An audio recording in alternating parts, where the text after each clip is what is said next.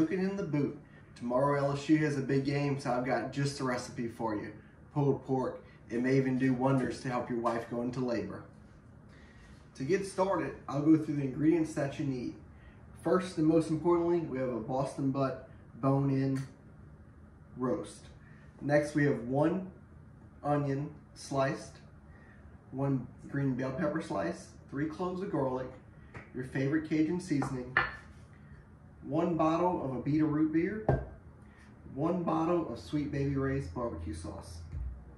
To go ahead and start, what we're gonna do is make a few slits into the pork and stuff your slivered garlic. This is gonna give it a little bit extra flavor as it cooks. And just work your way around the whole, whole pork, making sure to get that garlic in as much as possible.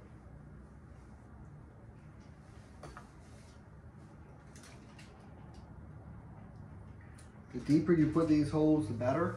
That way the flavor can really get throughout the roast.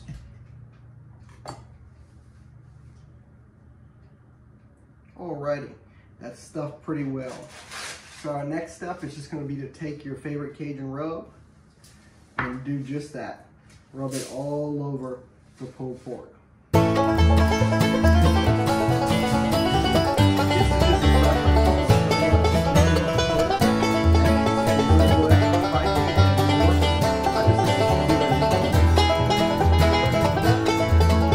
Next, we'll work on the crock pot. So right here, I have your standard size crock pot set on low. So this is, recipe goes pretty quickly. All you're gonna do is you're gonna take half a bottle of your barbecue sauce, put it at the bottom of the crock pot, half of your root beer, put it at the bottom of the crock pot, half of your onions, half of your bell peppers, and you guessed it, bottom of the crock pot.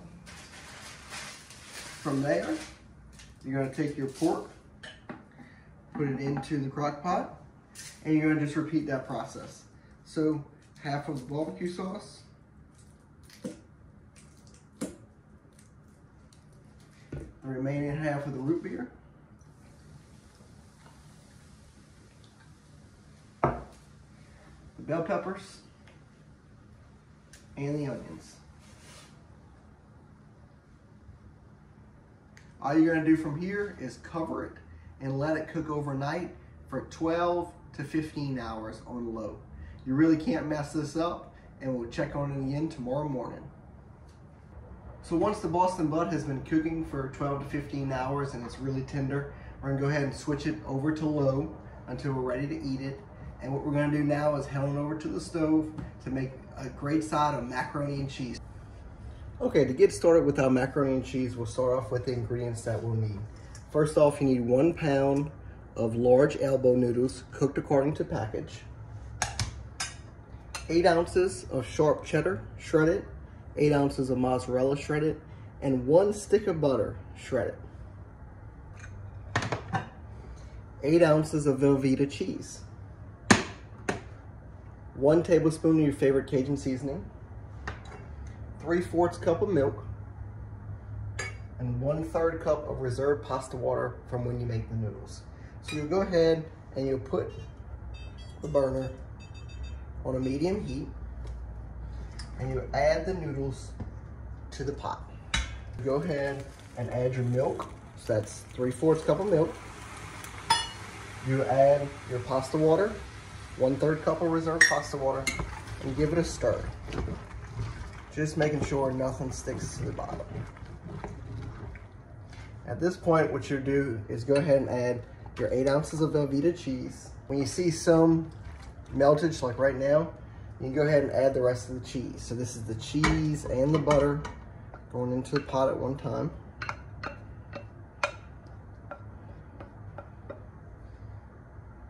And again, you're gonna give it a good stir. Just to spread that cheese and butter throughout the noodles. At this point, it's really just you keep stirring it probably three minutes, I would say. Before we leave, you can go ahead and add your tablespoon of Cajun seasoning. And just keep stirring it. Once you have a creamy consistency of with the cheese all melted, it's pretty much done. You can go ahead and hit off. Um, one note I do want to mention is, depending on the type of cheese you use and the way you shred it, sometimes it can take, it may need a little more milk to come out this creamy. So don't be afraid to add maybe a cup, um, you know, maybe a fourth of a cup at a time up to a cup more of milk to get it this creamy consistency. So what I'm doing now is adding it to a 9 by 13 Pyrex dish that's been buttered. So there is butter on the sides. You go ahead and flatten it out. Top it with a little bit more of sharp cheddar. This time it's finely shredded. Cover it up with some foil. Put it in the oven for 20 minutes. Uncover it. Put in the oven for 10 more minutes at 350 degrees. And then you'll be enjoying yourself some homemade macaroni and cheese and you may never go back to the box stuff. The macaroni and cheese just got out of the oven and it's time to plate it. So what do we have here is a little toasted bun. Gonna get some pulled pork. Put it on the bun. We're gonna have Poppy today helping me with the macaroni and cheese. Put it right here. All right. All right. And we're gonna go ahead and taste it. Poppy, you wanna taste the macaroni? Look, give it a taste. Give it a taste. It is really good. And if you remember in the beginning, I said if your wife's pregnant, you might want to make this meal. We've had two friends go into labor shortly after eating this meal on two separate occasions. So that's this episode.